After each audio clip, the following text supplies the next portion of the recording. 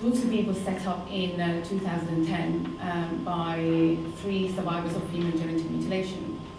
And um, our aim was to, to basically um, fill in the gaps where young girls are being missed. And the girls that we want to work with are girls who are from the UK. These are British girls because I think people have this assumption FGM only happens in Africa or out of no, nobody would picture Europe when you think of FGM.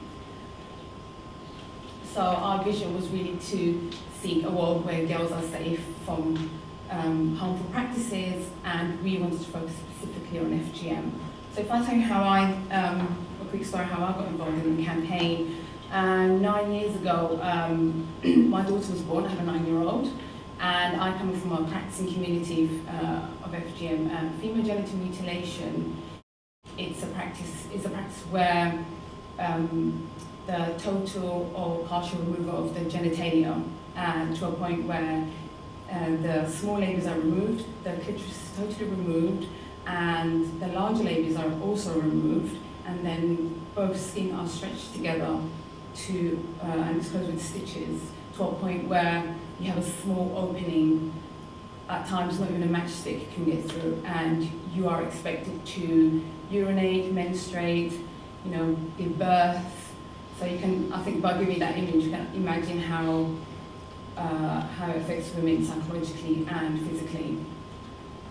Um, why is FGM practiced? Um, FGM is practiced for many reasons. You know, the women I work with over the years would say it was either religious, cultural, uh, it, was, it became a social norm at some point. So, um, but we uh, campaigners, I mean, one of the, the reasons, I mean, we know one of the reasons FGM practice is to control women's sexuality. That's what it's there for. And um, so nine years ago, when um, I went to visit one of the local clinics in my area where I live in East London, and um, I was asked by one of the nurses, you know, was I cut? And my response was, you know, yes, I was. You know, this is this is what we do. This is part of my culture. You know, this is. I mean, because you're brought up with that idea that it's normal. And through that question, it sparked off.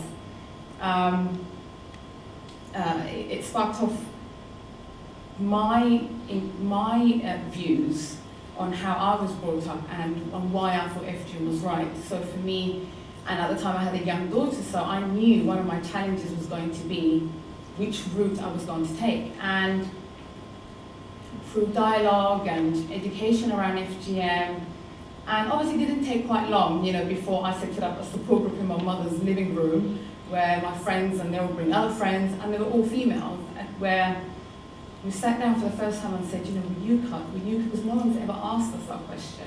And these are bored British girls. And I at the time I felt, okay, I need to make sure my daughter doesn't go through this. So to cut the story very short, so trying to protect my daughter from this practice became a nine-year campaign work now because we felt through services, uh, whether it was around health, education, um, um, so, uh, social, uh, social workers, there was no, there was nothing around FGM, especially when it comes to uh, protecting young girls from this practice, especially within schools. So for us, it was, um, for me at the time, it was, okay, we need, I need to make sure that no other girl is in a position that I was in when I was uh, school child, uh, a child that was going to school at, um, at the time. So, sorry. it's really, actually, it's quite difficult to talk about something that it's quite personal and you need, to come up, you need to be on the other side as a campaigner. So for me, it was um, just trying to, um, I used to, uh, uh, through the survivors group from my, from my mother's living room, then to, um, luckily a job came up, for some strange reason, a job came up in that clinic where I was asked um, if I was cut as a youth outreach worker. And, and at the time when I got this job, um, I tried to locate other youth workers who were doing similar work, and I found out at the time I was the only one in whole of Europe who was doing this work. So I had to kind of build my own uh, job description, per se. And um, which is quite challenging because I had to put myself in that position of that young child again and see what she needed at the time. So for me, schools were the first direct group that I went to. And and I obviously realized school teachers, head teachers were not interested. They didn't want to. They, actually, I remember one head teacher said to me she did not want to upset her teachers because this this is such a graphical um, uh, uh, practice. And my my uh, my reaction was, but the girls in this school have gone through this, and you know, you need to be in a position where you need to protect these girls. So anyway, from we went from from schools to we trained many uh, uh, uh professional workers within, uh, um, whether they were midwives, nurses, social workers, but it's never enough. That's I think that's really uh, a key um, issue that we, we constantly have because unfortunately, even though we have policies and laws on FGM, it's not implemented well within services. So, when we set it up also in 2010, so we wanted to look at what was what's actually missing. So what's the area that are missing that we need to fill in? And um, we felt support was one of the key areas that we needed to look at. Um, we um, and support uh, advocate work is very important. Young people was key in this work. And in 2000, uh, when we first set up uh, Eve, we had the first ever youth conference in Europe on FGM. And, um, and one of the things that came out uh, from that conference was that the, the young people saying they constantly feel dismissed by, I don't know, the communities in general, and no one takes them seriously. So for me, it was really important to highlight that their voices are very important because they are the future parents and they're the ones who are going to be making those decisions that I was faced with when my daughter was born. So for us, um, prevention is a big part of our work. We, um, like I said before, we do a lot of training and for us it's really important that we're also linking with other services and I think um, because we're such a small organisation now, I mean, I work from my kitchen table, so I'll put it there. So for us to do a lot of partnership work is really important, especially uh, organisations that work specifically with women and young people. Um, and these are some objectives.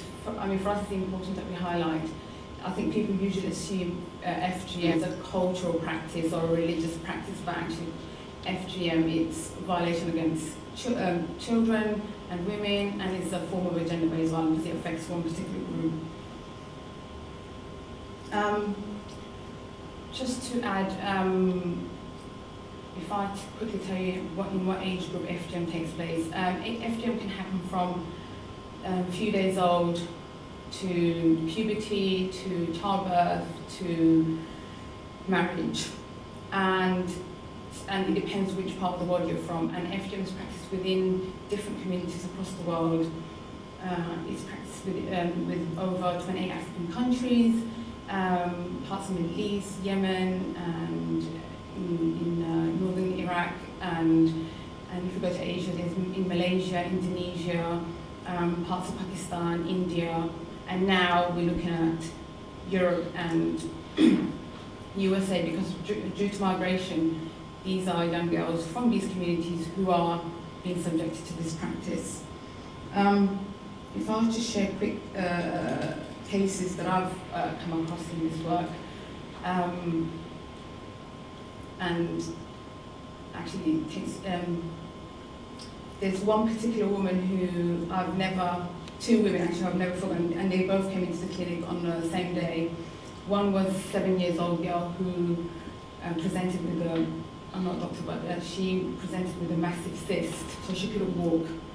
And she came in and the family was saying, you know, she had, she bumped her genitals against the chair or something, but we knew that wasn't the case. And obviously later we found that she had FGM type 3, which is total closing of the genitals. But on that same day, we had an 85-year-old woman who had exactly the same problem. So it was so there was an eight-year gap where this practice still goes on. And um, we meet, uh, I mean, many women who would say to me, actually the genital it doesn't belong to me, it belongs to my husband. And so you hear really all these, so for us, it's really important that we empower the women, you know, to, I mean, we have to do basic things like just educate them about their bodies. You know, many times I was faced with, um, I would get a, a, a picture of a, a human being and say, you know, this is yours, the ear is yours, the nose is yours, the genital is yours, it's for you to decide whatever you want to do with it, and why should you be subjected to such practice? Um, in the UK, we have a law. There's been a law against FGM since 1985, and and it said it said if you cut or performed any genital surgery on a child, it was against the law. And but that was only if it happened in the UK, and the act has been revived since 2003 um, and it says, obviously, if you take a child out of the country, then you can still you will be prosecuted 40 year, uh, 14 years maximum imprisonment. Few years, if you ask me, you know, was it useful to have this act? I would have said yes, but in the last few years now, I feel the act hasn't worked, and not because it's not useful. It's I think they've already we already have laws in this country that protects children, and if you're if, you, if anyone harms any parts of your body, you will be prosecuted. So I feel there is no need to have any acts around FGM. But at the same time, because this practice is a norm within communities, so the law on prevention work has to be done together because there's no point of prosecuting a mother who thinks this is a normal thing. She's doing this because she loves her child. And a few times people come up to me and say, you know, oh, you know, your mother did this because she loved you. My response is actually my mother didn't know the meaning of the way she was taught about love. This is the way she was taught about love. So it's really educating people about what love is again, because my, my I always say, you know, there's when it comes to love, you can't be hurting your child. So for me, it's again, you have to re, we have to reteach parents. Um, on what love means. I mean, it sounds really easy thing to do, but for certain communities, especially around such practices, it's done because it's out of love, but that's not the case. So I feel law and prevention work has to be together. And um, for me as a campaigner, it's important that I come from a place not, where I'm not judging, because I think with certain uh, practices, people tend to go underground if you're constantly judging. So for me, it's important that if you ever come across or work with uh, uh, communities where FGM is practiced, um, it's important that you have an understanding of what the practice is and why it's being practiced. And um, even for me, who's from the community, it's quite difficult at times to watch an audience when I'm describing what FGM is and saying this is normal. Just just see people's faces, like, okay, you know, this is quite, it is shocking and it's horrific. However, when you are trying to do this work, you have to really try to understand what it is, but at the same time, you have the duty to protect that child and to support that woman who's gone through this practice. I mean, the message I really would like to uh, my key message today is, and I always say this, it's um, um, saving one girl is key. Because you save one girl, you break that cycle. And the reason I know that works, was I did that with me, with me and my family. So for me, uh, my grandmother had it done, my mother had it done, I had it done, my sister had it done. But making sure my daughter's not cut has been one of the biggest achievements of my life. And that is where that cycle is broken. But at the same time, if you're in a community where you're constantly told, you know, you're a female, this is what you do, this is what you're supposed to be doing. So for me, as a mother of a nine-year-old girl, it's just to constantly remind her, yes, we still live in a world where we're still not equal, but, but you have to take ownership of who you are and no one can tell you what to do or be who, who you need to be. So you don't have to fit into these criteria you were given as a woman. So for me, that's really uh, a key uh, point because I think people can feel so um, disarmed after hearing about FGM. You know, what can I do? But I think, I mean, there's quite a few of us in this room. If what, if all of us focused on one girl they could save, we'd be saving quite a few generations just within this room. So for me, I would like to say, you know, please do not be disheartened. And the way you can help is by talking about it with your families, within your, you know, work uh, colleagues or whatever groups you belong to, because this is an issue not just in Africa. This is a European issue. These are British girls, and British girl, every British child has the right to be protected. And sadly, in the UK, we have 24,000 girls every year who are at risk of FGM. And I think ignoring those girls is actually a crime. And um, so just to uh, sum up what I'm saying is um, um, policymakers have the responsibility to make sure these girls are safe. So hopefully after today, you will have a different frame of mind of uh, when it comes when looking at child protection policies and uh, in place. So so you can be hopefully you'll be more informed. But to get more information about uh, um, our work with we're on Facebook. Social networking is the best thing. I'm not gonna lie. So I was quite disappointed when I was told I couldn't tweet. and but it has been a, a, great tool for us to reach many young people. I mean, I have, uh, uh I, have I organise uh, reversal operations for women through Facebook, you know, so they can contact us. So I could be the one contacting the hospital, making sure I don't I don't have to know who they are. So that is really really important for us when we do this kind of work because we still it's still an underground issue, so we need to bring it up to the forefront. I mean, the only obstacle uh, I have when you, to be in this position, you know, you, I get told I betrayed my community, um, especially when you're uh, a single parent, you know. I'm having divorce, by the way. So for me to be in that position when you're trying to challenge an issue that it's uh, done for men. So I'm a woman who's challenging, um, sorry, um, so for me to be in that position, you do get threatened all the time. Um, my daughter was threatened few times, had to move homes three times.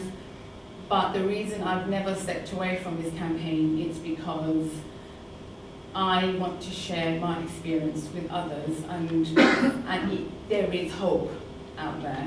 So I think the more people always tell me I can't do it, actually I like take I took it I take it to another level. So like appearing on TED is another level of, of, of, doing this kind of work. And a few times I have written resignation letters because you you do get to a point where I mean you're a human being. There's limits that you have to how much people could. I mean people spit at you in the middle of the street. Um, people wrote web, uh, people dedicated websites to me, which you know I took as a compliment, but but really people do that. So please do not be disheartened. So there is hope there. So my daughter's now not cut. When she was seven, I was cut when I was seven years old. So on her seventh birthday, we had a great party celebrating that she is a beautiful child who doesn't need to be harmed to be part of society.